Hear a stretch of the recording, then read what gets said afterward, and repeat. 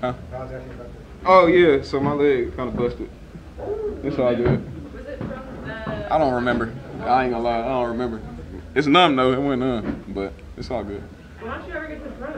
I don't know, but it's, it's getting lame at this point. Like I just want to, like, everybody else get to throw the ball with me. But it's all right.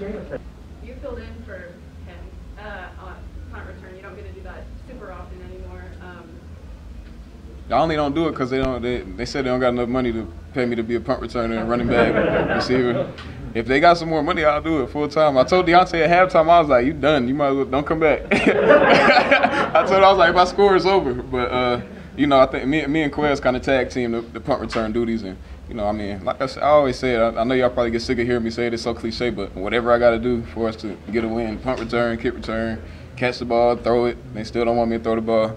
Uh, I'll do it. Was that head on that, that one? Nothing, I can't believe, it. like, you just bounced right out. Look- Yeah, I ain't see him. I, ain't, I think that's the hardest I got hit my for a whole five years playing football What happened in the on NFL. The Huh? last touchdown run there. I mean, the last touchdown catch there, like pop wide open for it. Oh, I'm, shit, by design.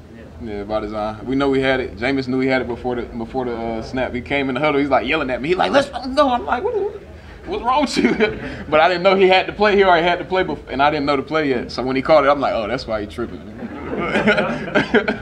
more involved in the passing game and almost a explosive passing game day for you. Mhm. It would- I mean, is this kind of the usage you hope for? Oh yeah, I mean, I, I told you guys every anytime I'm catching the ball, I mean, I, I love it. You know, I think it I, it adds an aspect to our offense.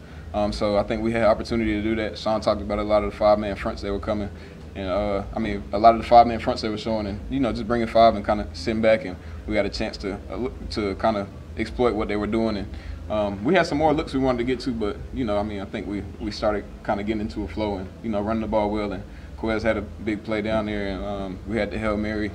Um, I mean, we uh, Shorty B had the uh, Deonte had the uh, long pass. So, I mean, we were kind of flowing. and two and two and three, coming out of this one, in terms of what you guys want to accomplish later on, how big is this? I mean, it's huge. I mean, especially going into a bye week. I mean, it's tough. You never want to lose a game going into a bye week. It's, it it kind of seems like you're not doing anything right when you lose and you got to break. You know, you got to come back and get ready to play a game. It's like it's tough, but you know, winning and being able to get some guys back, like Sean said.